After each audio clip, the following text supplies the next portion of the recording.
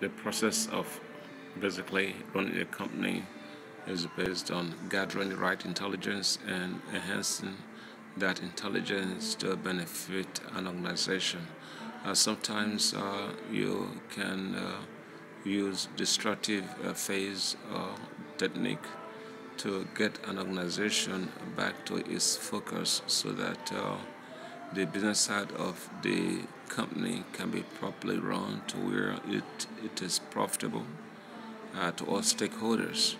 Uh, what most organizations usually run into is that when uh, competition fails and everything else fails, they run undercover. But organizations shouldn't operate like that.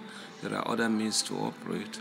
Uh, you can sort of cut back on your expenses, streamline cost to make sure you are afloat rather than running for cover and taking easy steps. You can take the road less traveled by ensuring that your business is still viable and still competitive. We, what I have basically decided to do is to create a system that allows organizations to still function even when they are under pressure to go under. Uh, uh, even countries uh, essentially learn to survive hard times. That's what most of organizations have to do. They have to learn to survive hard times.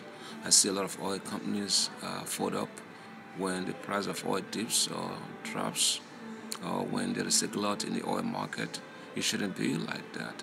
Uh, there should be um, a primary focus to try to conserve on, on, a surplus. Companies can have a surplus when there is enormous profit. Uh, that surplus should be kept aside for rainy days, days when profit will be low or none at all. That's how you basically run an organization. Uh, well, most of these topics will be discussed uh, later. Uh, thank you for listening.